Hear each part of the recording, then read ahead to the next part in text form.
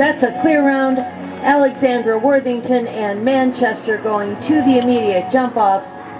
Lafayette leads time to catch is 28.411.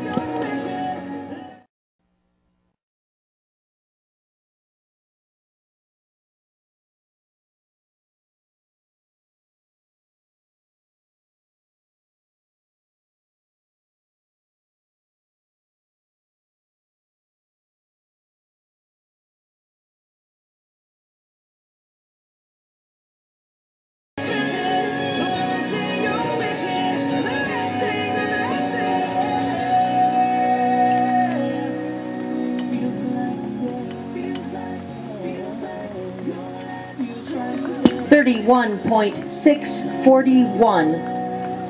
Unofficially into sixth.